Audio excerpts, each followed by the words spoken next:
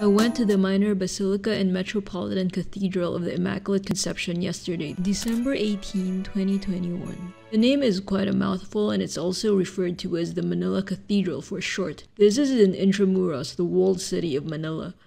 Both Pope John Paul II and Pope Francis have visited this basilica.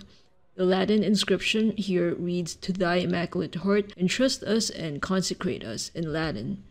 I went on a Saturday and there were a lot of people out and about enjoying the cool weather of December. Here's a tent selling Catholic swag on the side of the Manila Cathedral.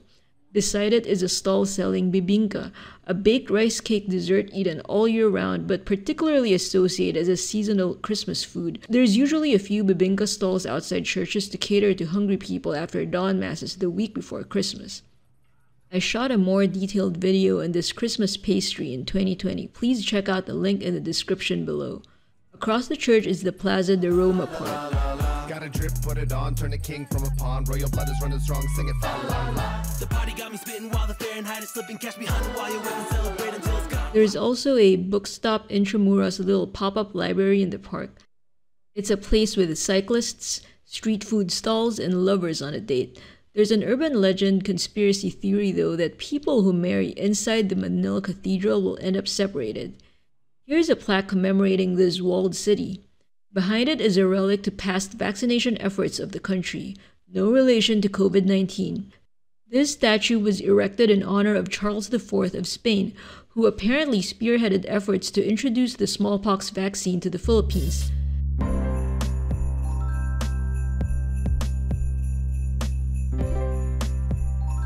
At the other end of the Plaza de Roma is a government office building called Palacio del Gobernador. According to Wikipedia, the building's exterior was used in the Chuck Norris film Delta Force 2, The Colombian Connection, for a scene set in Rio de Janeiro. Beside it is a parking lot with what seems to be an interesting faded mural on it. This is the view of the Manila Cathedral standing from across the Palacio del Gobernador. This cathedral is dedicated to the Immaculate Conception of the Blessed Virgin Mary as the patroness of the country. Here is a Belen, a traditional Filipino Christmas nativity scene.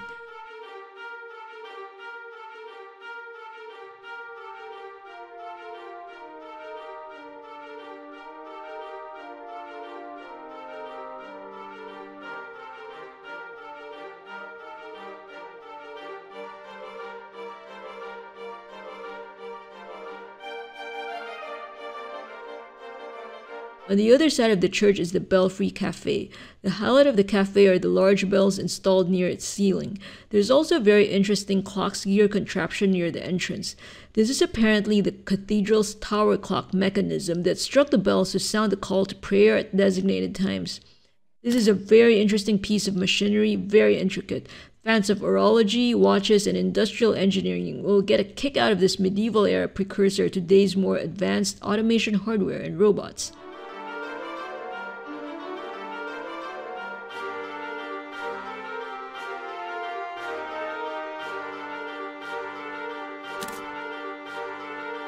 Just like the Plaza de Roma Park earlier, this was also a popular spot for people to take photos at. I walked to the other side of the cathedral after.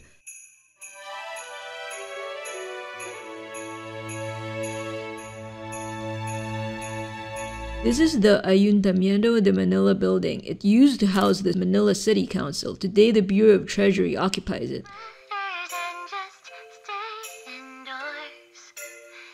It started raining at this point, that's why I put on my raincoat.